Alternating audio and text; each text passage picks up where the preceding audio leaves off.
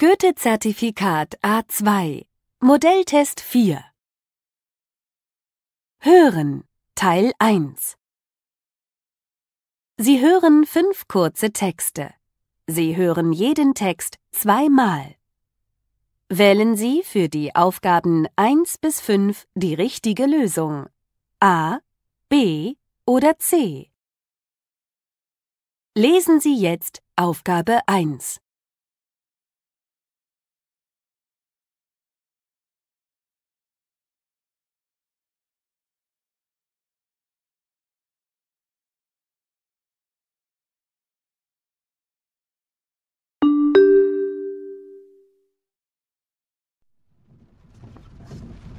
Und hier eine Information für die Besucher des Altstadtfestes. Wegen starken Regens findet das Konzert der Blues Company heute Abend nicht im Freien auf dem Marktplatz statt, sondern im Rathaus. Die Anfangszeit ist unverändert 20.30 Uhr. Vor dem Rathaus gibt es noch einige freie Parkplätze.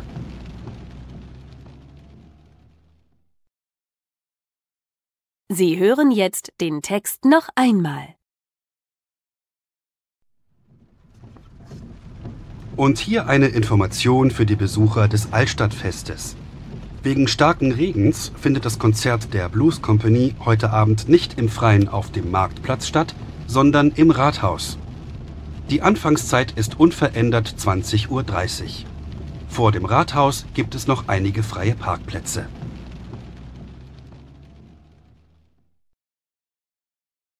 Lesen Sie jetzt Aufgabe 2.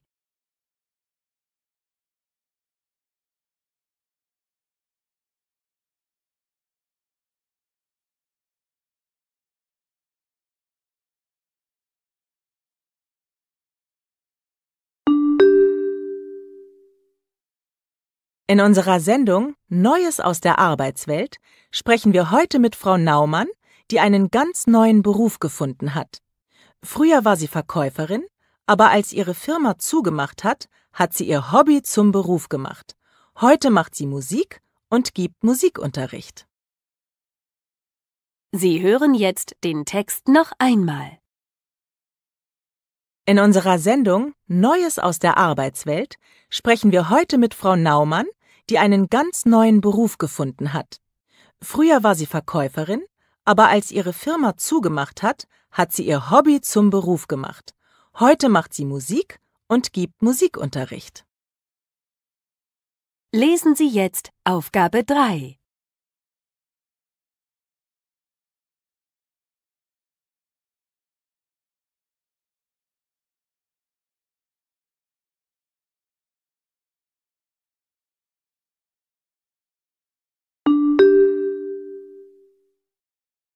Und hier das Wetter. So langsam geht der heiße Sommer zu Ende. Nach den starken Gewittern der letzten Tage wird das Wetter ruhiger, es wird aber nicht mehr so heiß.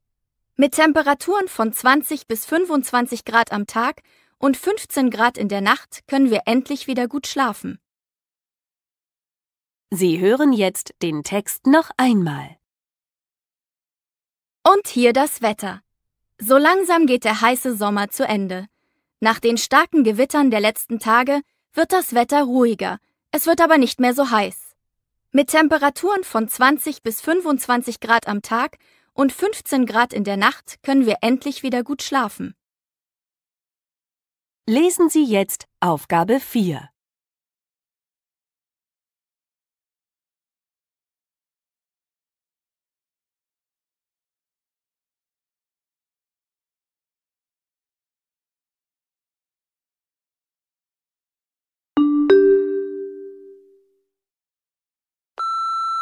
Guten Tag, Herr Gerhard. Hier Thomas Berger von der City AG.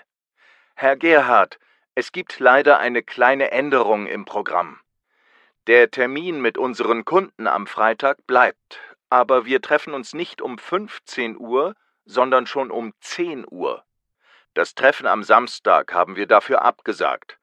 Wir treffen uns im Hotel vier Jahreszeiten. Das hat sich nicht geändert. Sie hören jetzt den Text noch einmal. Guten Tag, Herr Gerhard. Hier Thomas Berger von der City AG. Herr Gerhard, es gibt leider eine kleine Änderung im Programm.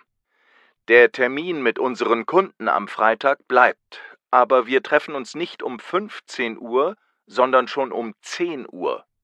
Das Treffen am Samstag haben wir dafür abgesagt. Wir treffen uns im Hotel Vier Jahreszeiten. Das hat sich nicht geändert. Lesen Sie jetzt Aufgabe 5.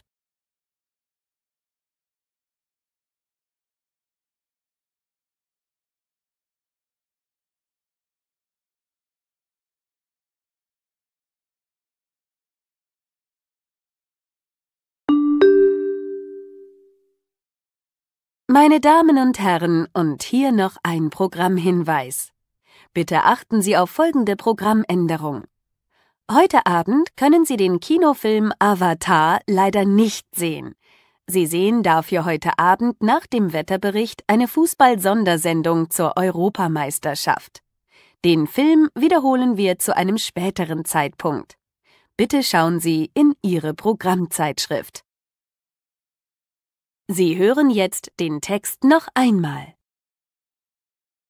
Meine Damen und Herren, und hier noch ein Programmhinweis. Bitte achten Sie auf folgende Programmänderung. Heute Abend können Sie den Kinofilm Avatar leider nicht sehen. Sie sehen dafür heute Abend nach dem Wetterbericht eine Fußball-Sondersendung zur Europameisterschaft. Den Film wiederholen wir zu einem späteren Zeitpunkt. Bitte schauen Sie in Ihre Programmzeitschrift.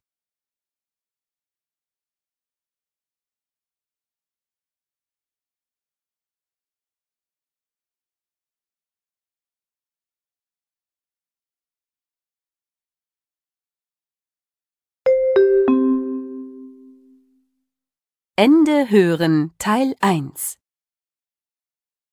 Hören Teil 2 Sie hören ein Gespräch. Sie hören den Text einmal. Wer bekommt welches Geschenk? Wählen Sie für die Aufgaben 6 bis 10 ein passendes Bild aus, A bis I. Wählen Sie jeden Buchstaben nur einmal. Sehen Sie sich jetzt die Bilder an.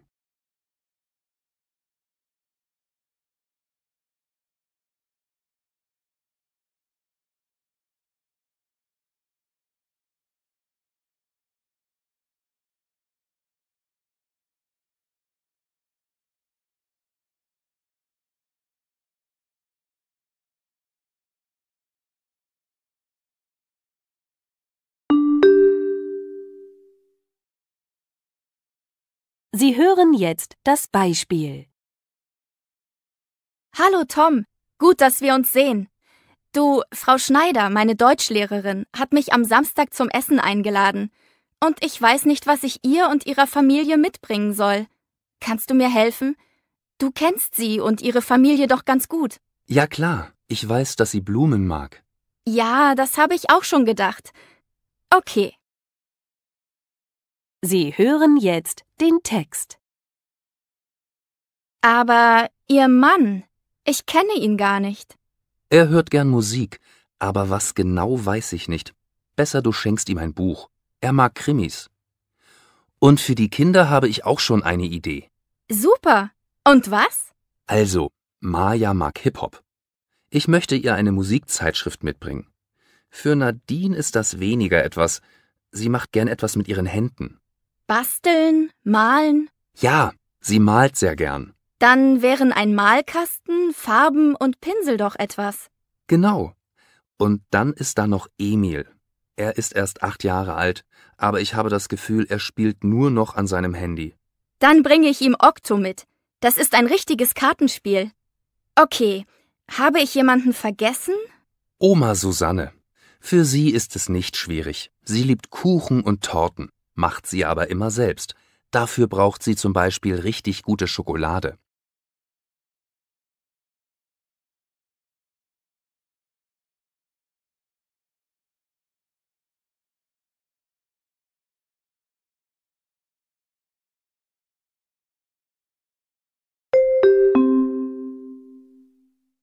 Ende Hören Teil 2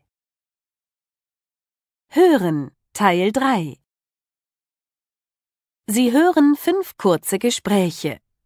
Sie hören jeden Text einmal. Wählen Sie für die Aufgaben 11 bis 15 die richtige Lösung. A, B oder C. Lesen Sie jetzt Aufgabe 11.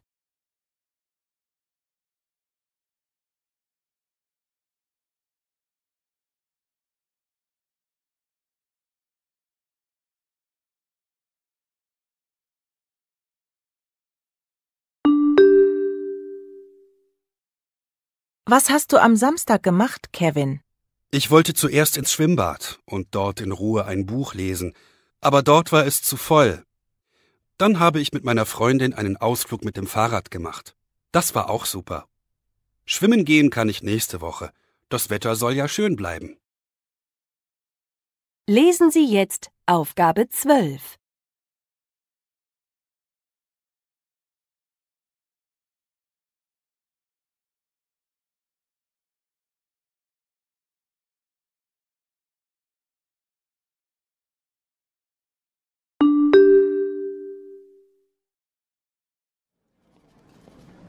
Guten Tag, ich möchte gern Schuhe kaufen.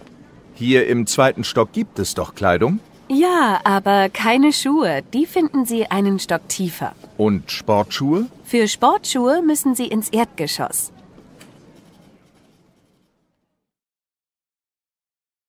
Lesen Sie jetzt Aufgabe 13.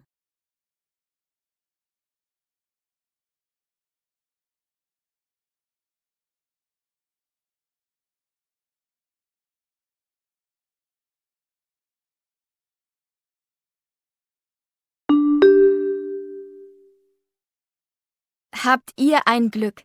Tolles Wetter und morgen fahrt ihr weg. Ja, ich freue mich schon so auf den Urlaub. Fliegt ihr wieder nach Berlin oder nehmt ihr dieses Mal das Auto? Nein, dieses Jahr nehmen wir den Zug. Die Flüge waren zu teuer. Dann schönen Urlaub. Danke. Lesen Sie jetzt Aufgabe 14.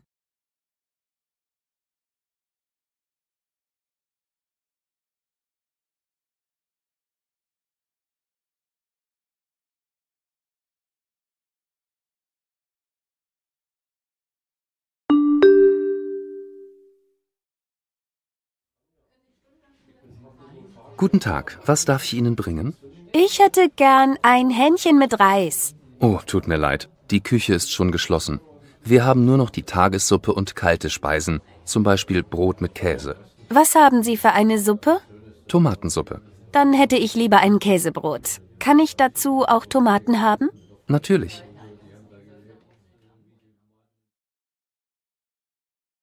Lesen Sie jetzt Aufgabe 15.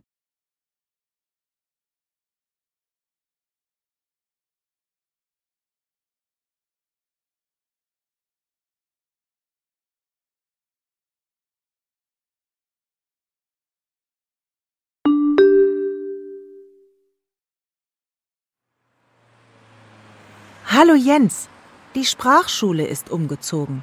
Weißt du das schon? Nein. Wo ist sie jetzt? Neben dem Supermarkt in der Kaiserstraße. Und wo genau? Zwischen dem Supermarkt und der Apotheke.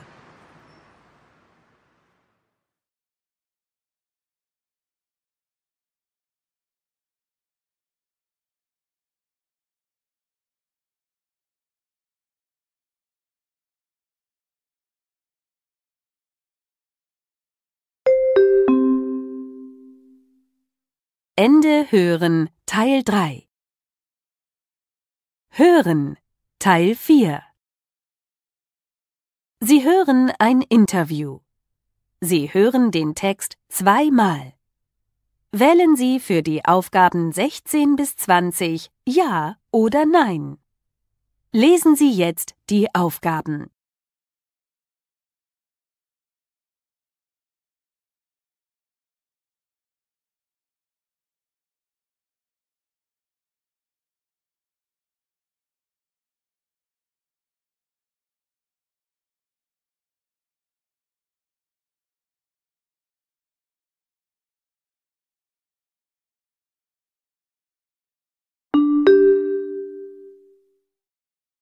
Sie hören jetzt das Beispiel.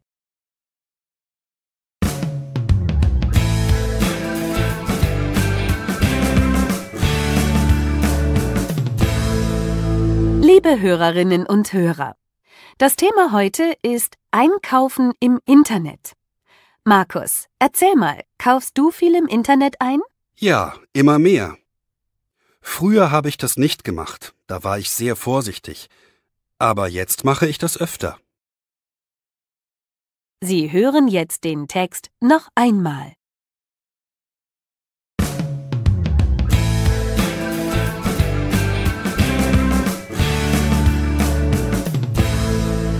Liebe Hörerinnen und Hörer, das Thema heute ist Einkaufen im Internet. Markus, erzähl mal, kaufst du viel im Internet ein? Ja, immer mehr. Früher habe ich das nicht gemacht, da war ich sehr vorsichtig. Aber jetzt mache ich das öfter. Sie hören jetzt den Text. Und was kaufst du alles? Kleider, Schuhe, CDs, Bücher. Man hat keinen Stress. Man kann von zu Hause aus bestellen, muss nicht in die Stadt in volle Kaufhäuser gehen und stundenlang an der Kasse warten. Markus, du hast am Anfang gesagt, dass du früher sehr vorsichtig warst. Was meinst du damit? Na ja, man muss natürlich beim Interneteinkauf vorsichtig sein. Wo kaufe ich ein? Was ist das für eine Firma? Wie kann ich bezahlen? Bekomme ich eine Rechnung oder muss ich sofort Geld überweisen? Hast du hier schon schlechte Erfahrungen gemacht? Ja, einmal habe ich Schuhe gekauft, bezahlt, die Schuhe sind nicht gekommen und das Geld war weg. Ich habe mein Geld ins Ausland überwiesen. Da konnte ich nichts mehr machen. Hier habe ich zu schnell bestellt, auch weil die Schuhe sehr billig waren. Gibt es auch Sachen, die du nicht im Internet kaufst? Natürlich.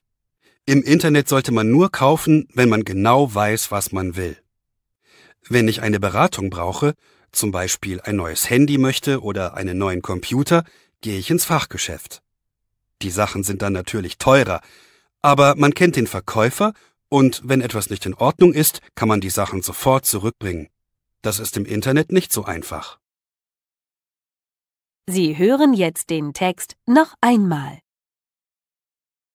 Und was kaufst du alles? Kleider, Schuhe, CDs, Bücher. Man hat keinen Stress. Man kann von zu Hause aus bestellen, muss nicht in die Stadt in volle Kaufhäuser gehen und stundenlang an der Kasse warten. Markus, du hast am Anfang gesagt, dass du früher sehr vorsichtig warst. Was meinst du damit? Na ja, man muss natürlich beim Interneteinkauf vorsichtig sein.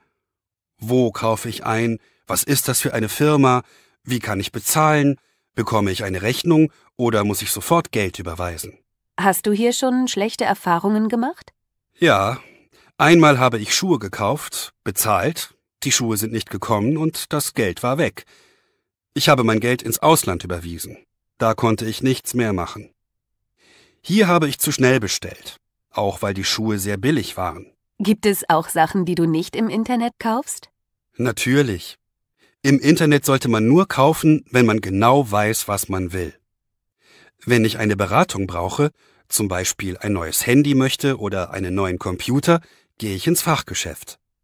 Die Sachen sind dann natürlich teurer, aber man kennt den Verkäufer und wenn etwas nicht in Ordnung ist, kann man die Sachen sofort zurückbringen.